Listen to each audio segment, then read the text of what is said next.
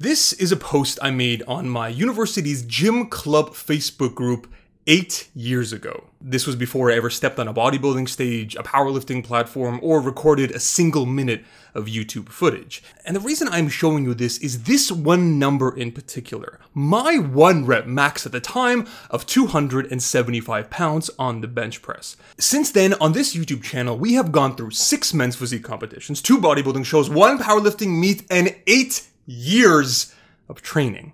And throughout all this time, one goal has remained at the back of my mind to train normally with what used to be my absolute maximum. Specifically to bench press, my former one rep max for a regular plain old four sets of 8 reps. In 2016, I got painfully close, stopping just 10 pounds shy of my goal after failing on 265 and subsequently losing significant strength due to injury in my 2016 competition prep. And in 2020, I achieved a personal best single set record after hitting 275 for an AMRAP of 9 reps.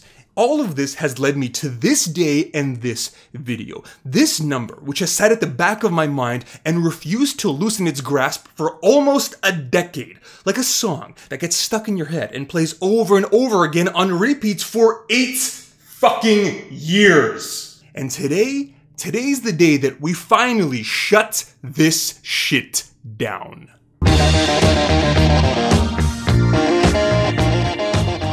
Thank you to the sponsor of today's video, ExpressVPN. So every time you connect to the internet via an unencrypted Wi-Fi network, whatever you do online is not private. This could be your internet service provider keeping track of every single website you visit, or even potential hackers looking to steal your personal information. ExpressVPN solves all of this. By rerouting your network data through their servers and encrypting your internet connection, this protects you and your personal data from prying eyes. And there are other multiple benefits as well when it comes to things like torrenting or using streaming platforms. Take Netflix for example. A lot of people were very upset when Netflix announced that they were no longer carrying The Office when in reality they actually are in Canada. All you need to do is boot up ExpressVPN, make like two clicks, connect to any server in Canada, and boom, you are watching The Office, or any other show or movie not available in your region. And best of all, my viewers can get three months of ExpressVPN absolutely free by going to expressvpn.com slash Igor or clicking the link in the description box below.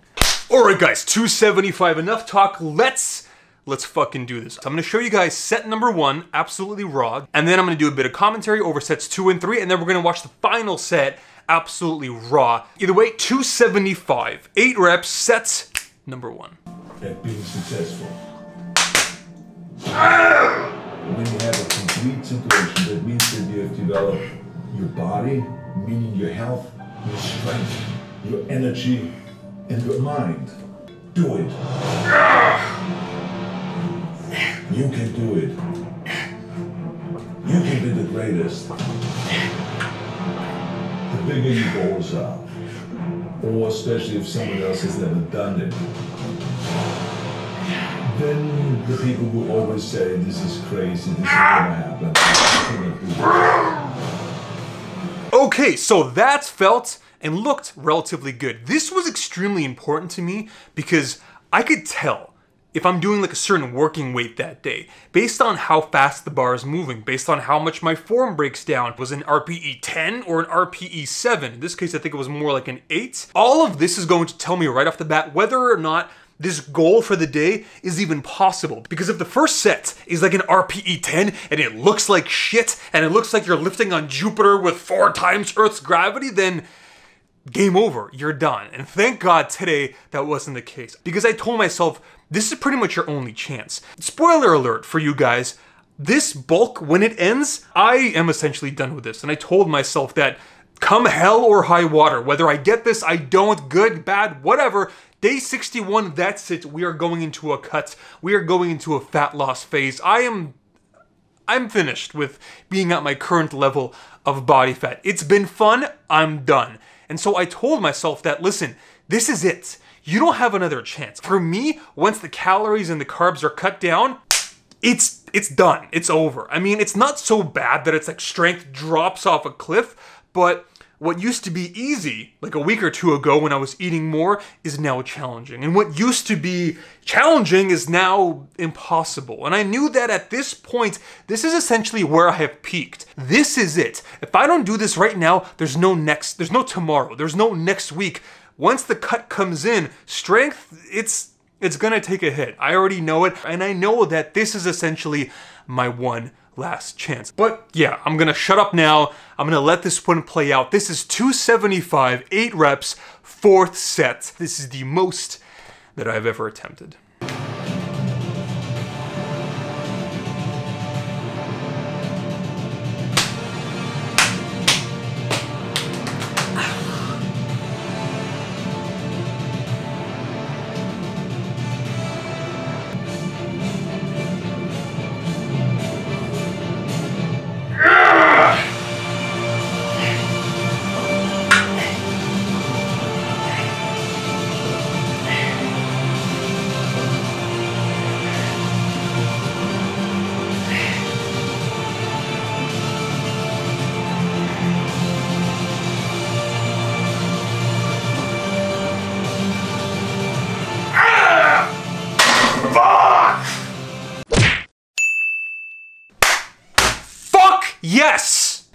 Guys, this felt so fucking good because it's taken a while. It's, you know, again, guys, the title of the video, it's not eight weeks, it's not even eight months, it's eight fucking years.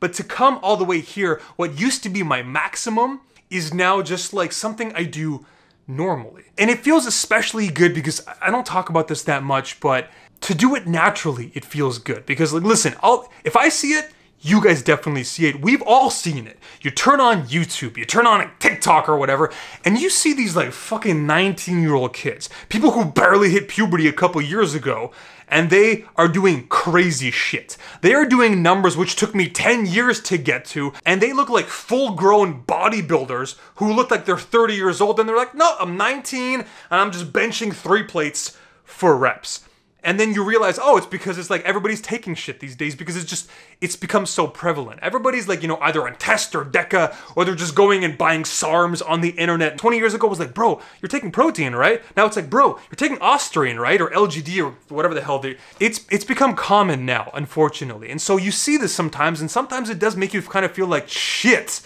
if they're doing that maybe i should too. I mean i want those gains. I want that muscle. I want that strength. And i'm I'm kind of happy to show, I'm not trying to like blow my own horn or blow smoke up my own ass, but I am trying to show you an alternative. If you are someone who's a bit more apprehensive towards crossing that path and going down that route, you don't have to. You just have to accept the fact that it's going to take longer. It's not going to be nearly as easy, it's not going to be nearly as fast, but it can happen. I'm living proof of that if you're very, very patient. And also, obviously, it feels good to sit here and say that I was able to do this without the negative health ramifications, without the need to value pharmacology over everything else. Well, I guess not over everything else, but include pharmacology as a factor along with nutrition, training, all these things that, you know, I grew up on when I was a kid. This is what I thought mattered. And then to have this other thing included, it kind of sucks. And I kind of don't want to do that. And the fact that I was able to do it without that, it feels good. It took a while, but it feels um feels good.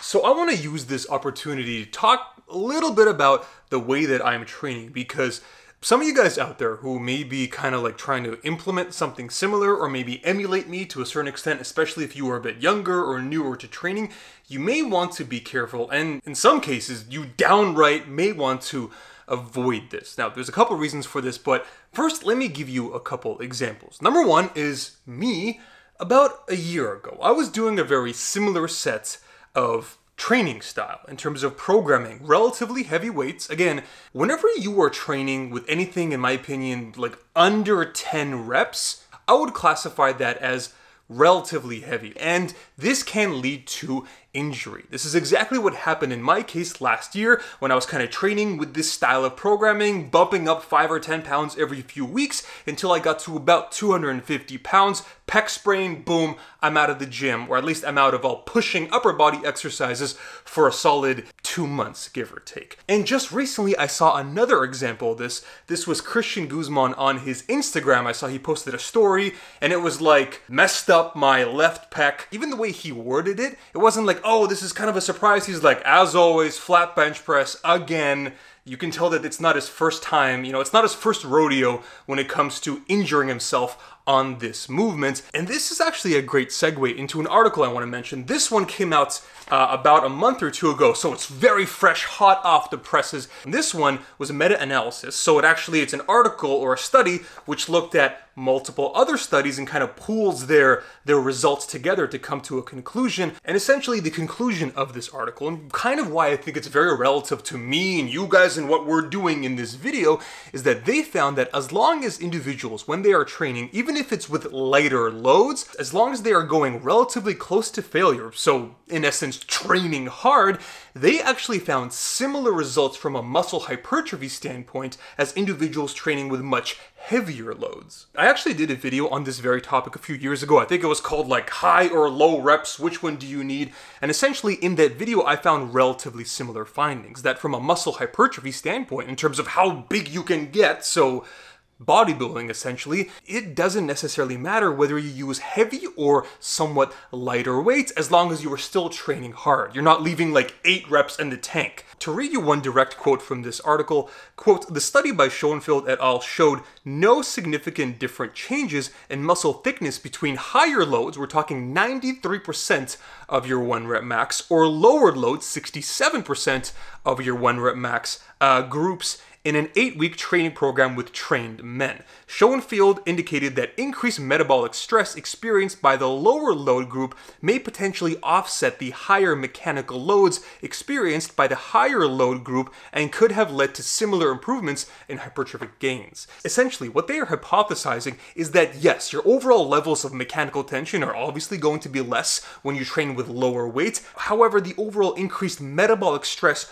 on the target muscle. Remember, there are supposedly, it's still not that well understood, but supposedly there are three kind of sources or factors when it comes to inducing muscle hypertrophy. That factor alone is somewhat going to make up for the fact that the, clearly there's less mechanical tension with less loads. The inclusion of lighter resistance training, approximately 30 to 67% of an individual's one rep max to failure in a resistance training program, may provide a stimulus of sufficient magnitude to drive the hypertrophic adaptive response without subjecting the individual to a heightened risk of injury.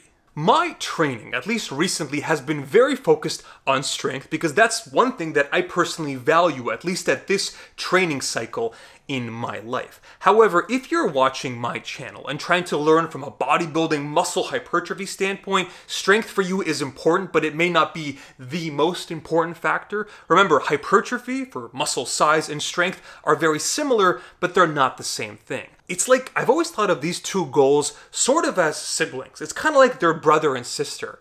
They are not the same thing. They are not clones with one another. It's very difficult for you to get one without getting the other, but that being said, they are not the same thing. At the end of the day, it is possible for you to train in a way which is optimized for hypertrophy, but not necessarily for strength, and this would be an example of that. However, if you are okay with this, you are okay with your strength gains being 7 out of 10 optimized as opposed to 10 out of 10, then this may apply to you. And the reason why is because you may be able to train harder, longer, and most importantly, injury free.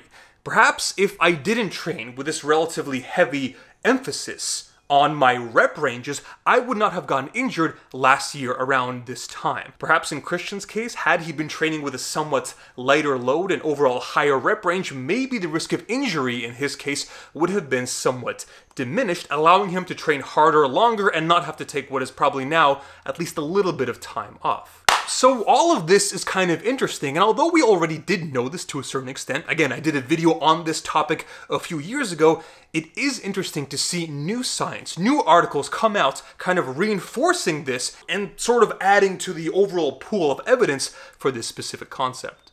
Either way, guys, that about does it for me on this specific lesson. We have one video left in this experiment uh, mini series, and ultimately my final opinion and overall analysis on turkesterone. What is it? How powerful is it? And most importantly, is it worth you guys giving this a try? We're gonna do a full physique update. We've got a DEXA scan scheduled. Overall, exciting stuff coming to a YouTube screen near you. But until that time comes, as always, guys, thank you for stopping by. I appreciate each and every one of you, and I'll see you in the exciting conclusion.